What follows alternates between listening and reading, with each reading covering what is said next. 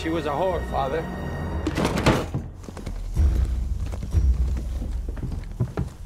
A woman was found killed in town.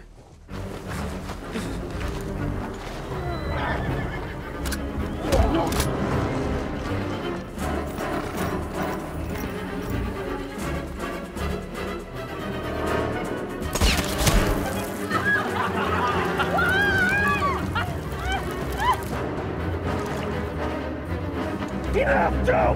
What are you doing? You never loved me. You never loved anyone in your life. Don't say that.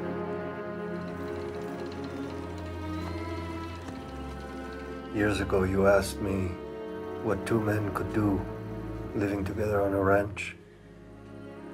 I'll answer you now.